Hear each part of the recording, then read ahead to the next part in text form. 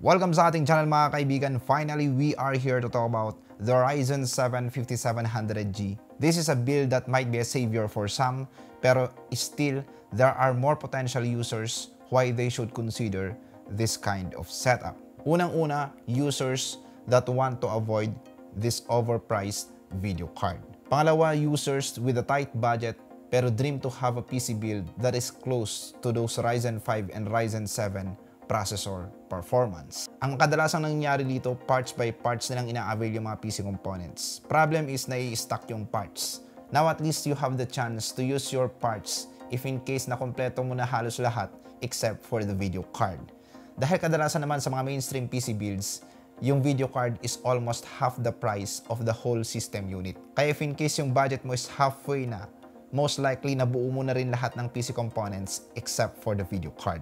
Pangatlo, these are the users who needs to have that kind of mainstream processor pero they don't need to have that kind of powerful video card. Especially into production na Photoshop lang naman kadalasan yung panggagamitan or users who needs a processor for a heavy multitasking na hindi kaya ng i3 or Ryzen 3 processor.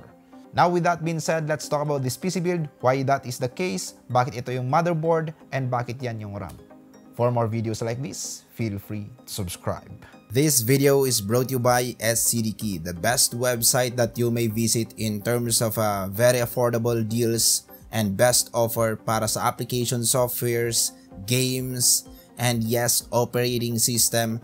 And there you are, you may check the Windows 10 Pro and by using our promo code, ma-avail mo lang siya ng around $14.95 or 700 plus pesos. That's it mga kaibigan. Check the description below. May mga links po tayo dyan to go directly sa kanilang website.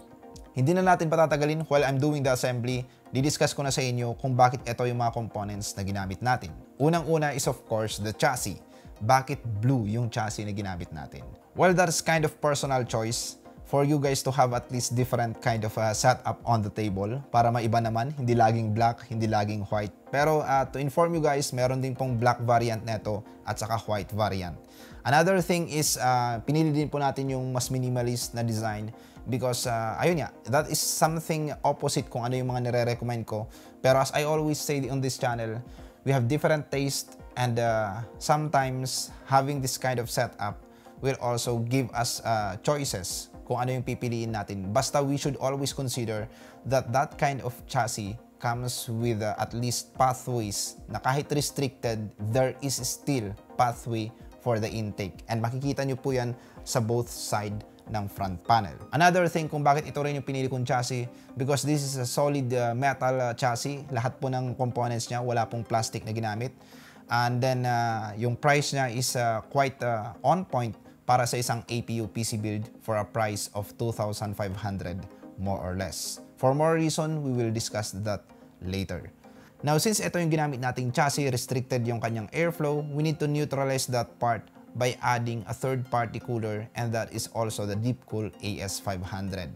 White po yung kanyang color scheme. Malalaman nyo mamaya kung bakit white yung ginamit natin na CPU cooler out of this blue na major or base color ng ating PC build.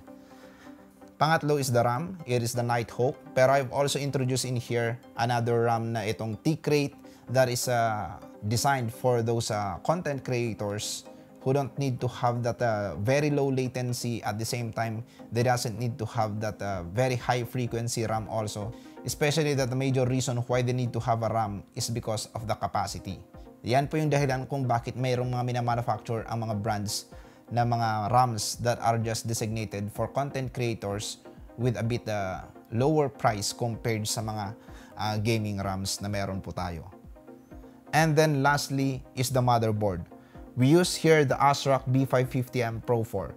This is a budget motherboard but comes with good or beefy heatsink to support the VRM, especially for uh, processors like this na APU. If you notice, medyo budget po yung mga components na ginamit natin. That is because yung target market po ng ating uh, 5700G or why APU processors are manufactured is to serve those consumers who are not uh, really looking for something that is uh, so affordable or so cheap pero they want that everything is worth it in terms of price to performance ratio.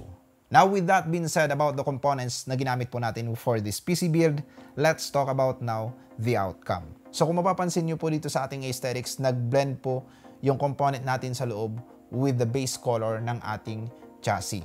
The way to do that is to add a LED strip, then set it to blue. So yun yung pinakamagandang move since wala namang masyadong components na yung kanilang kulay is uh, blue or uh, red. Bibihira po po yung mga ganong components nowadays. Most of the uh, parts nowadays are either white or either black.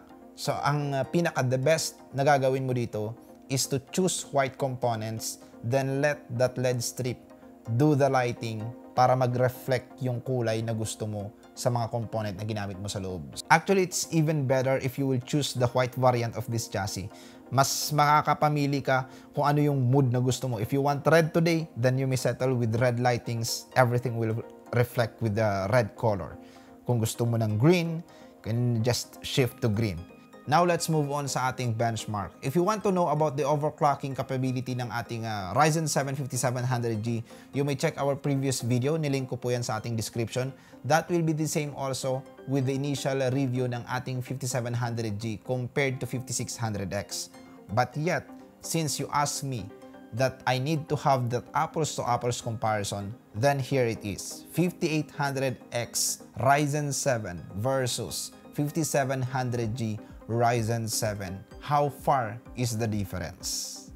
And sobrang layo. 5700G is way inferior sa kanyang counterpart as I have said sa ating previous video. And it is closely on par sa 5600X. 5600X is still the better processor with a video card pagdating sa gaming. Pero pagdating naman sa production, 5700G having that multi-core performance is still the better processor over 5600. Pero even the same core count as the 5800X, that 5800X is a dedicated processor, not an APU variant. There's no integrated graphics with it. At the same time, it comes with better specification like cache, it comes with better numbers on paper. Then, there you have 5800X except with the PCIe Gen 4 support. 5700G is really inferior from gaming to production. Pero syempre, if you want to have a 5800X, you need to have a video card.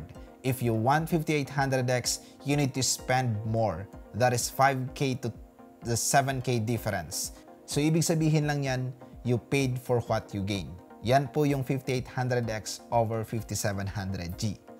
If you will settle down with 5600X or 5800X, you don't have any choice. Even you will set even you will buy the cheapest video card, still that video card is way higher compared sa hindi pandemic. And uh, this is the savior that we may have. And that is a good move, especially for consumers who are also into a budget. Nowadays, kahit yung mga mayayaman, conservative na rin sila pagdating sa expenses nila. Especially for uh, components or gadgets. And those are just uh, some of the reasons why 5700G is one of the most relevant processors as of this time na pandemic. Now that you have the whole preview from that initial review na ginawa natin a few weeks ago, at the same time that overclocking capability of this processor, and now the whole PC build na meron po tayo, it's up to you guys to decide. So if uh, there are things that you think I missed with this video, you may check the two previous videos na in-upload po natin. For more videos like this, feel free to subscribe. And yes, keep posted sa ating next video dahil i-announce po natin dun ang winner sa ating PC case giveaway.